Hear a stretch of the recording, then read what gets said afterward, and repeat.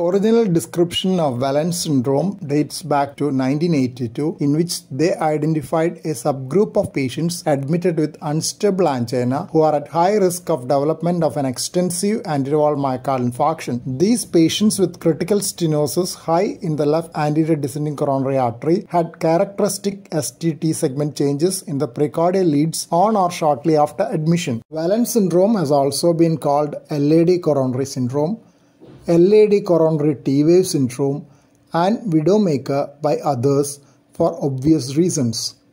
Wellens syndrome has been classified into type A and type B.